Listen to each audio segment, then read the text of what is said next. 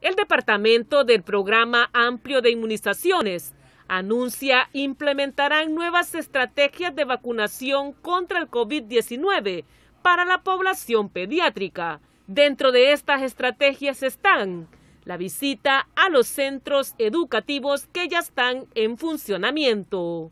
Por demanda, en este momento tenemos como 3.500 niños vacunados, entonces vamos eh, en todo el proceso. Eh, implementando las estrategias no solo de abrir los servicios en los establecimientos, sino también con las escuelas. Estamos coordinando con las escuelas para poder ir a vacunar a los niños a las escuelas.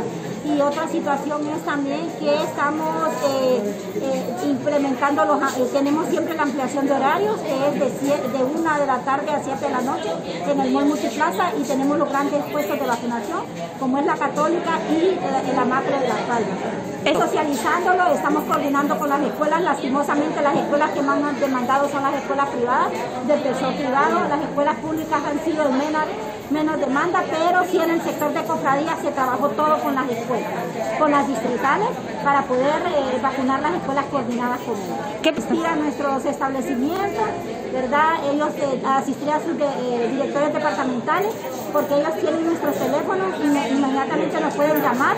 Mi teléfono es 89 51 18 64 ellos llaman eh, ellos ya, ya, hemos coordinado con ellos otros procesos ellos ya tienen nuestros teléfonos solo es de llamar para poderlas programar ya tenemos una programación, programación previa de las escuelas ¿de cuántos centros educativos estamos hablando? estamos hablando que ahorita llevamos unos 20 eh, eh, centros educativos vacunados ahora bien, ¿qué porcentaje de la población de menor ya se tiene vacunado? pues ahorita llevamos como un 30 40% vacunados con imágenes de Oscar Perdomo les informó Tania Elwin.